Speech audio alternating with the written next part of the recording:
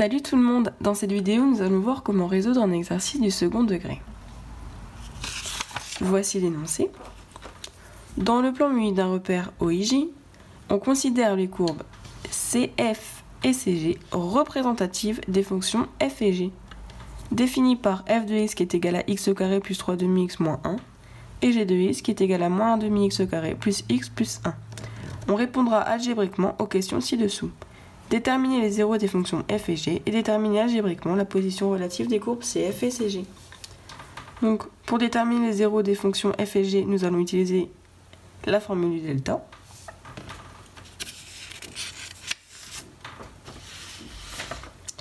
Alors, pour f de x qui est égal à x au carré plus 3 demi x moins 1, on a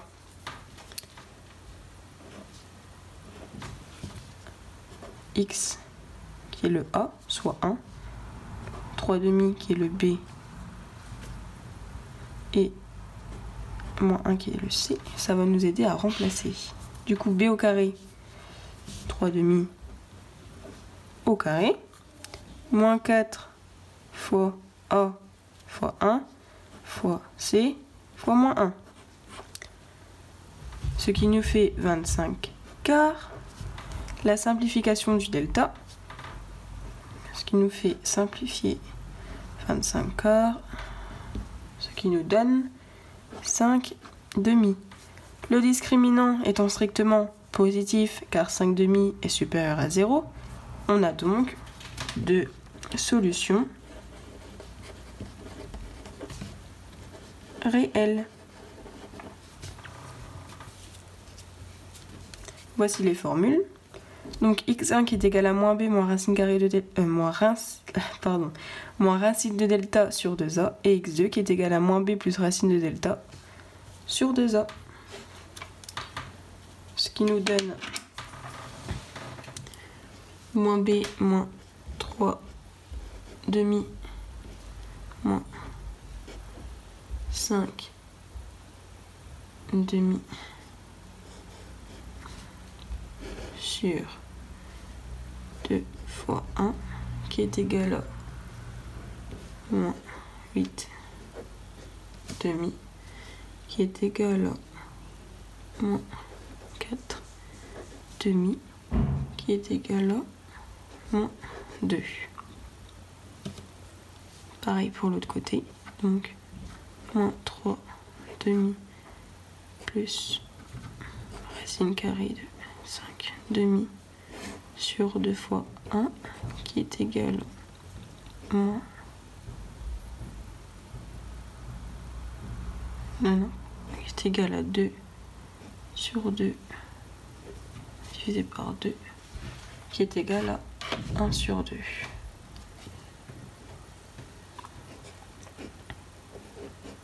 donc voici les zéros de f de x. On va passer au 0 de g de x, donc on refait pareil. A, B, C. B au carré, 1 au carré.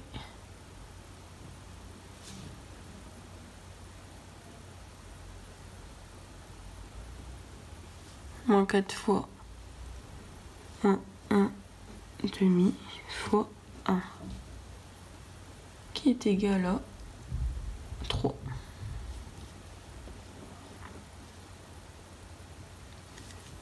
Le discriminant étant strictement positif, car 3 supérieur à 0, on a donc deux solutions réelles. On fait pareil, qui est égal à moins 1 moins racine carrée de 3 sur 2 fois moins 1 demi qui est égal à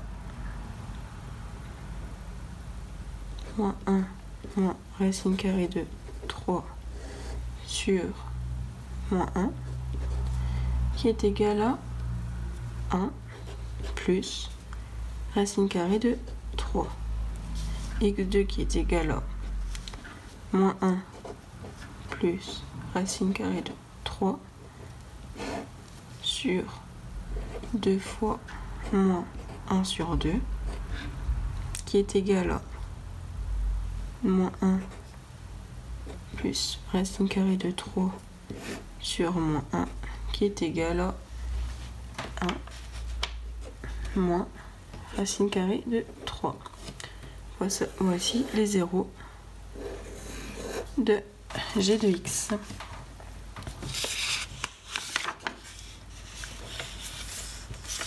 Donc ensuite, il faut déterminer algébriquement la position relative des courbes CF et CG. Donc pour étudier la position relative des courbes CF et CG, nous allons étudier la différence F moins G. Soit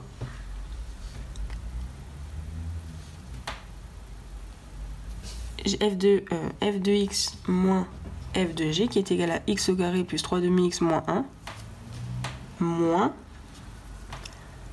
entre parenthèses moins demi x au carré plus x plus 1 ce qui nous fait x au carré plus 3 demi x moins 1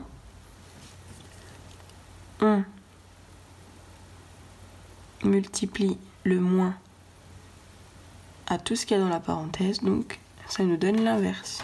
Plus, parce que moins fois moins ça fait plus, 1 demi x au carré, moins fois plus ça fait moins, moins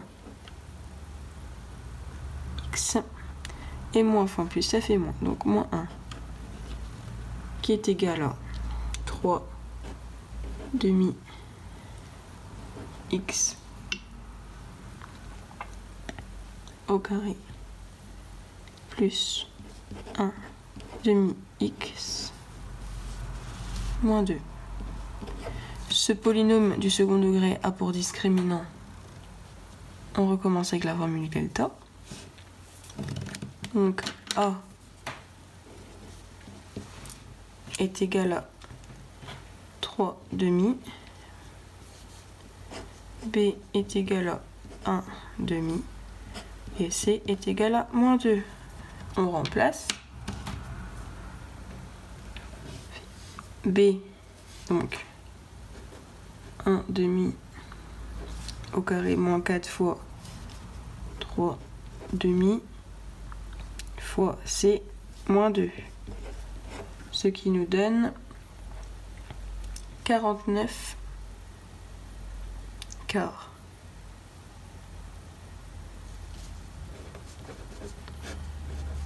que nous allons simplifier. Racine carrée de 49 quarts qui est égal à 7 demi. Le discriminant étant car 7 sur 2 est supérieur à 0, on a donc les deux solutions réelles.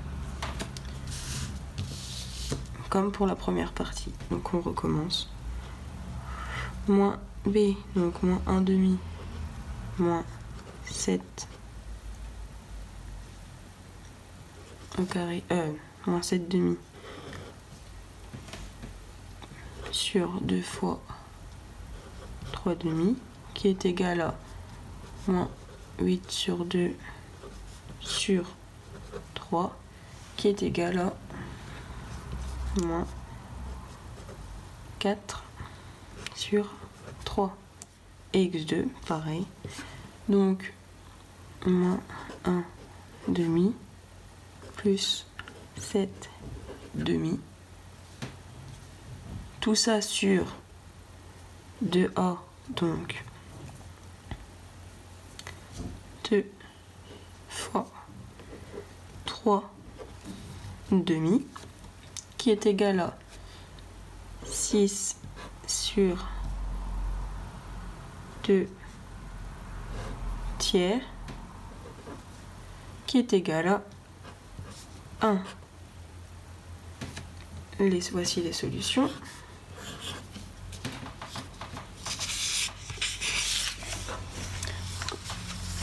Le coefficient du terme de second degré du polynôme définissant la différence f moins g étant positif,